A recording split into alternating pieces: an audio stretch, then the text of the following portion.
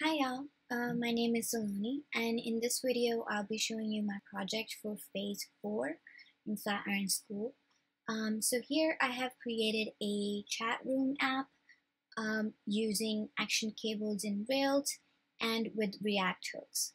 So it was quite a bit of a challenge to get it all figured out because I have never used action cable before doing this project or even learned about it. So I gave myself a challenge to really work with Action Cable and see how it would go. And I'm really proud of how things turned out and it's actually working, uh, which is awesome. So to start off, um, I do have two screens here. The reason for that you will just find out. So before I go into details, um, I will a little bit mention about Action Cable. So Action Cable really just creates real-time communication. Um, it connects the client to the server and it gives you like the full duplex communication, meaning you um, client is sending the request, server is giving a handshake, and then you just basically having bidirectional uh, messaging system. Which means if someone sends you a message, it, you should get it in real time as soon as they send it. It's quite a bit of a magic when you think about it, um, like how we just get messages instantly. So um, yeah, so let's show you real quick. Here I can sign in. Uh, before I get into sign in, I will just show you like a little bit of the concept behind this um, project. So I mean, it's it's really cute. How do you feel today? Um, this project is basically uh, created uh, for chat rooms based on how you feel. You can enter different chat rooms. You can talk about it, um, and you know, you if you're sad, you can even uh, go to the other chat rooms happy, and you know maybe look at other people's happy stories, and maybe that will make your mood a little bit brighter. And the concept is just that. Um, and it just takes you to different chat room based on your emotions on how you feel.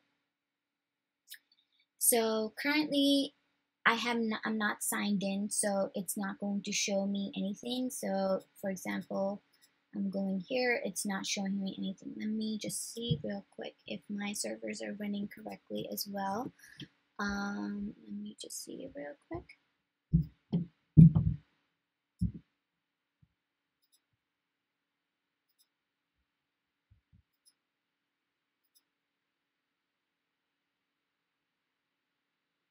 Okay, yeah, it's just um a bit slow with my um I'm sorry about that. It I just turned it on.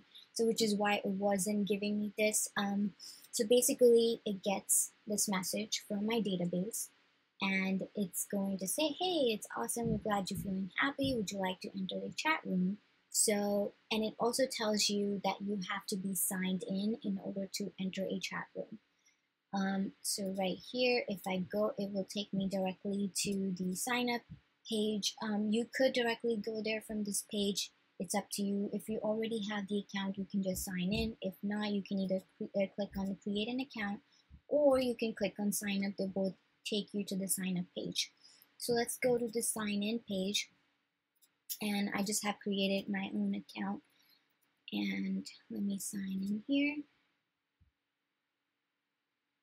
Okay, so now we're signed in. And here I will connect myself as Michelle.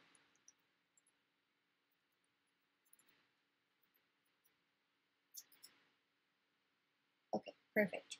So as you can see, once you're logged in as two different users, you can see their name up here that they're logged in as they are.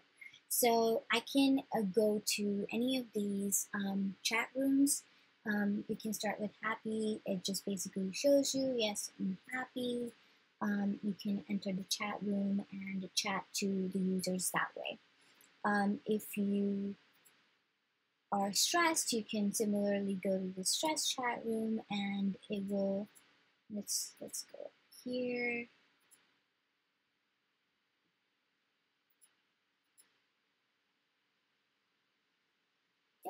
So it shows you um, the messages that are already there and what time they were posted and the users. Here you can search for the users if there are many users. Um, you can search by their username. Um, it just shows you like um, the chat room and um, yeah. So things you can do as you can see that on the sender side, which here I'm logged in as Saloni and here I'm logged in as Michelle. On the sender side, on both sides, I get a question mark with the messages, um, which gives me ability to edit my message or delete those message. So same goes for here. I can edit those message or, you know, delete those messages if I don't like. So let's start with um, sending the message. So here I'm going to send a message. Um, I am doing great. Oops. How about you? So I'm going to hit send and you can see the magic of Action Cable is that it instantly sends um, the messages to the all the subscribers of the chat room channel, which is pretty cool in my opinion, and I think it's great. So if I were to change this, I um, I can edit this message right here in this edit bar. And let's just put two question marks and see how that goes. Um, and if I save it, that should also be updated instantly on both sides. So it doesn't matter who I'm logged in as, I will see the updated messages, who is sending those messages, and the users in my chat room. Um, again, if I wanted to delete this message, um, I can simply do that by hitting this delete button and it would instantly delete from both sides. So, which is quite a bit of a magic in my opinion, and I, I think I probably said this word a million times already. Um, but yeah, this is my project to create um, a chat room using different um, users and be able to stream it online to all of them. So now on to the coding part of it. I am going to squeeze this right here and um, let's just talk about what's happening on the back end. So I'm just going to make this a little bit bigger. Yeah, so as you can see, as I was doing things around, it is um, logging every little thing that I am changing on my um, client side to my server. I can see all the logs um, when I was deleting those messages or when as you can see my delete, it is sending that SQL statement back to uh, using Active Record. Um, it's sending that message uh, for destroying it. Similarly, I am also doing the update before um, that is also being done here. You can see that um, using that patch request for messages we as and here is this main thing that I wanted to talk about is like chat room is streaming all those messages so you can see that chat room is streaming transmitting broadcasting to all the channels uh, all the subscribers um, once it's connected using WebSocket so that's that. Um, so here is how I was able to get this working. Um, from I am using Sessions Controller um, for authentication and authorization. Um, so here, once the user, I find the user, their um, password gets authenticated, and my user's controller has the um, that I can see and create or show users.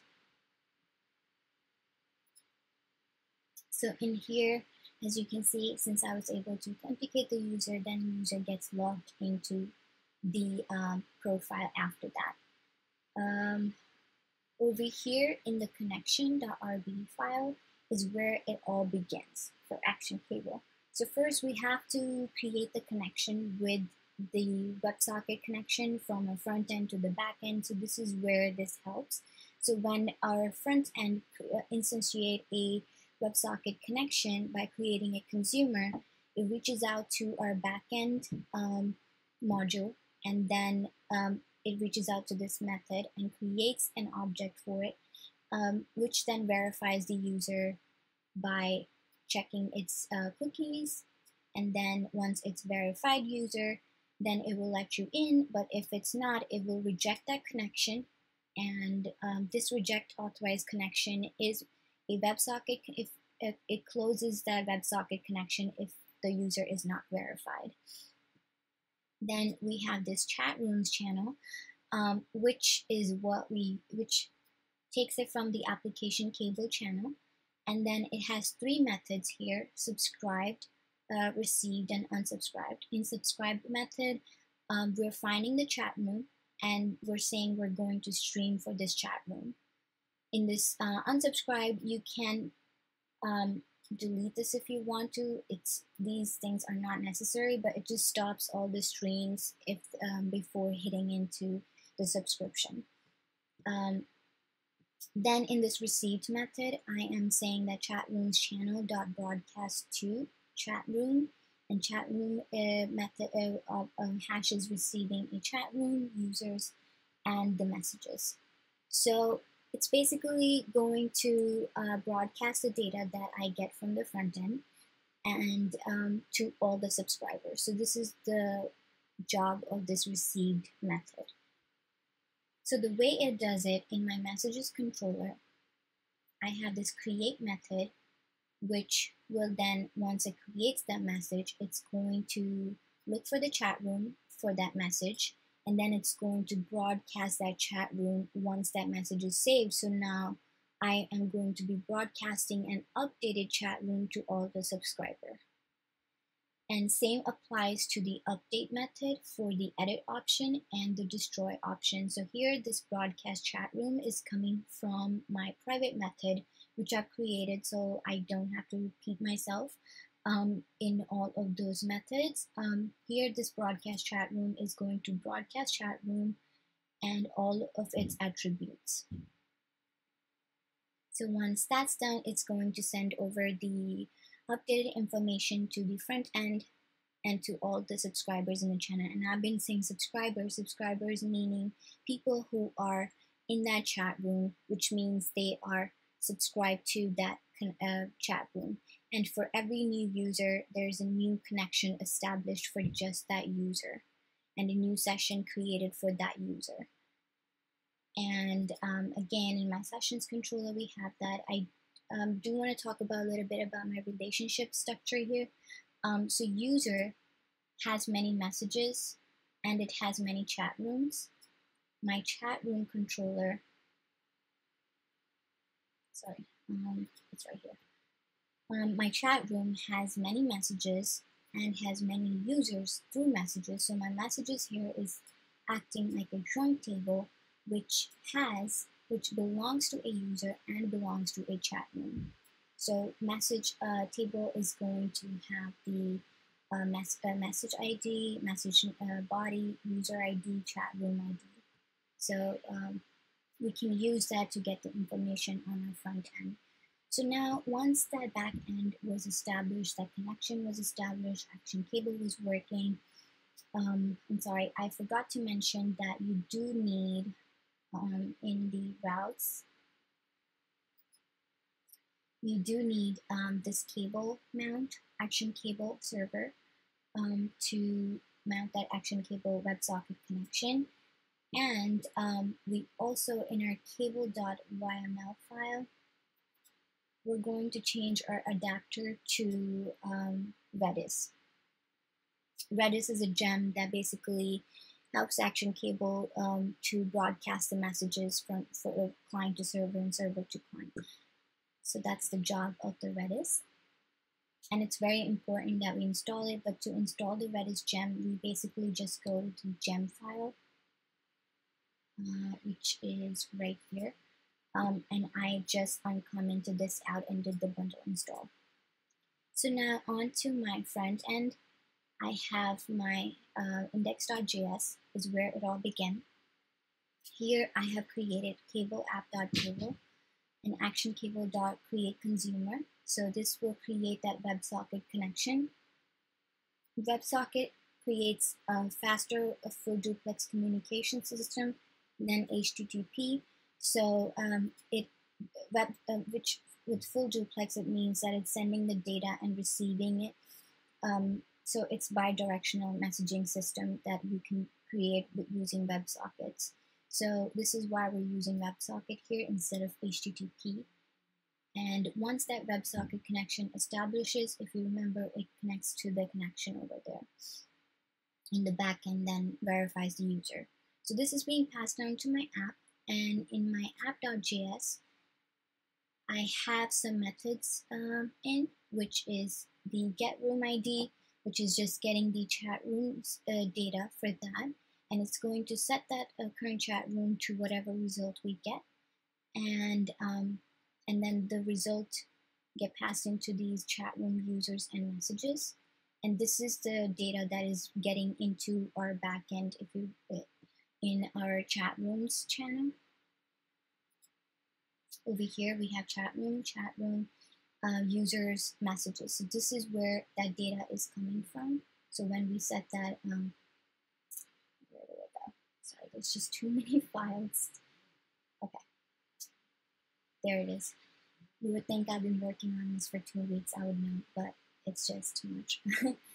so then we have the update app state room. It is going to update the state of our current room with the new messages or user being posted. Um, so that's the job of this update app room. And then I have this room show component, which is taking all those methods that I passed in and the state values and then we can go to a room show here. In this room show, um, I have this component called room WebSocket, which is going to um, do the subscription task for me.